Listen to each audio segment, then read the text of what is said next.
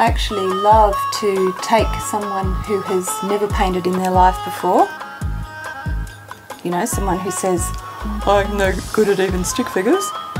I like to take a person like that and help them uncover their artist within. And in a day, they can go from never having painted before to creating their own personal masterpiece, which will be deeply significant. It won't be just a pretty picture. It's not a decorative thing to just stick on the wall like, you know, a Kmart print. It's a meaningful painting, symbolic.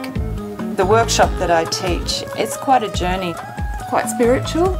They don't know what they're going to paint when they begin and basically their soul tells them what they're going to paint. Half the time they think, what? Why am I painting this?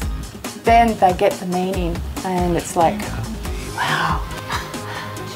I teach people how to tap into their intuition and basically get their egos out of the way.